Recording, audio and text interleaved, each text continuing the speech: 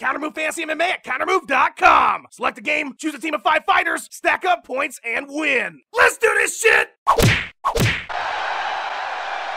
All right, everybody have a seat. Dana White could not be here tonight. He's filming an episode of Looking for a Fight on the Moon, and Dave Sholler is being pummeled by Jon Jones and Daniel Cormier.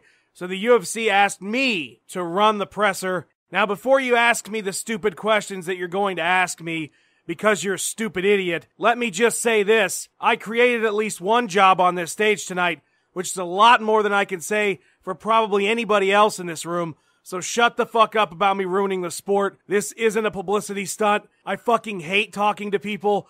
I just want to punch that young man in the orange shirt in the face and be left in peace to write comic books and watch hockey. Yes, an 0 fighter has no business in the UFC, but I happen to be a famous millionaire 0 fighter, and the UFC is a fucking business that's trying to, oh, I don't know, make a profit.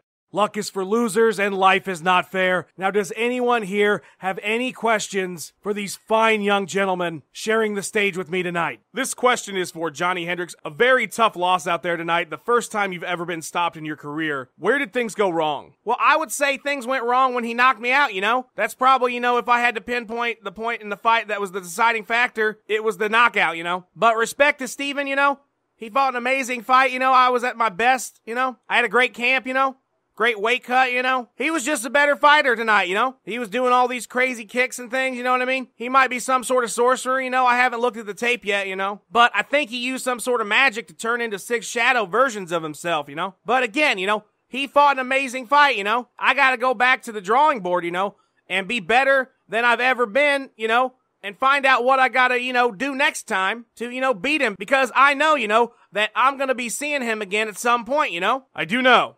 I do know, Johny. Thank you. This question is for Stephen Thompson. Wonder Boy, what is the secret of your power? And will you take me far away from the mucky muck now? Yeah, absolutely, man. Not much to say when you're high above the mucky muck, is there?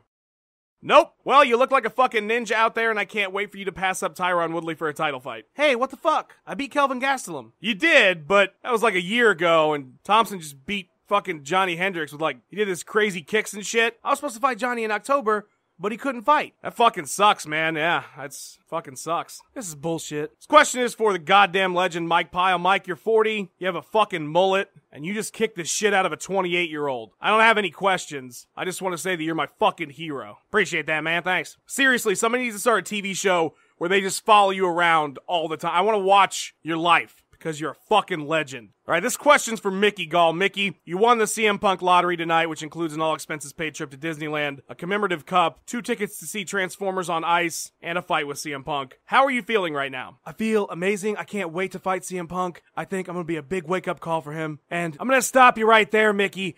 There's no need to cut a promo on me. The fight doesn't need to be sold any more than CM Punk is stepping into a cage to fight someone. I'm not going to cut any promos on you or your orange shirt. I'm sure you're a very nice young man, and I look forward to our contest. Save the promos for your next fight. This time, it's not going to do you any good. And to quote Walter White, if we're going to go that way, you're going to need a bigger knife. That's the presser, folks. Thanks for coming out.